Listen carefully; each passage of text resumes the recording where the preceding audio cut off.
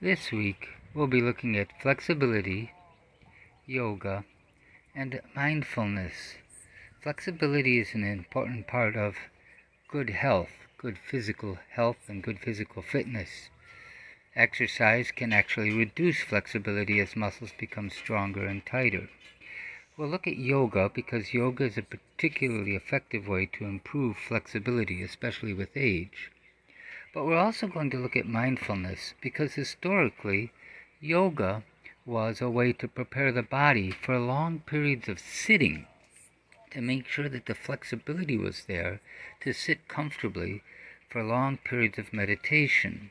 For the ancient yogis, those who practiced yoga, yoga and meditation were two sides of the of a, the same coin essentially they were things that went together because the mind and the body are intimately connected. And so they did both uh, yoga and meditation. If the mind is not healthy, the body won't be healthy either. If you're stressed out, if you're depressed, your immune system is compromised. You're more likely to become sick, you're more likely to become ill. And so, keeping a healthy mind is important to overall physical fitness and physical health.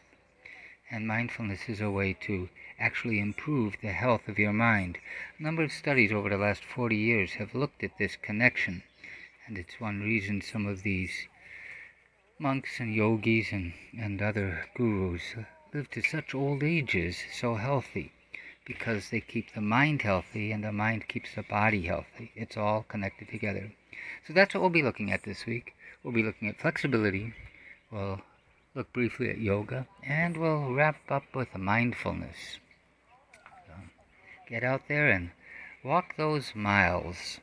And uh, take a look at the videos for this week.